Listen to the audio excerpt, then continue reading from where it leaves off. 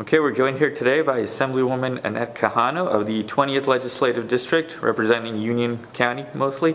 Um, Assemblywoman, you've uh, sponsored a bill that calls for increasing the financial penalties, among other things, on uh, driving while uh, talking on a cell phone or texting um, from $100 to $200 on the first offense and then bigger penalties going forward.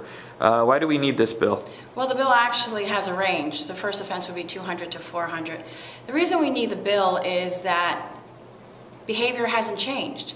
Last year alone, we had over 3,200 car crashes, and it was because of texting and driving. And the thing is, we all seen people driving right next to us, talking on, on their phones, or the car that swerves in front of us into the other lane. Those 3,200 car crashes are what happened because someone was on the phone. No call is so important that you have to injure or kill someone. Mm -hmm.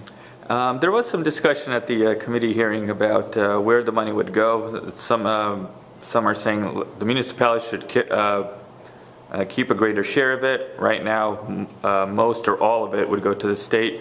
how do you feel about What's your uh, take on well, that? Well, what's great about the, the, having committees is um, committee hearings is you get to talk and, and discuss different viewpoints.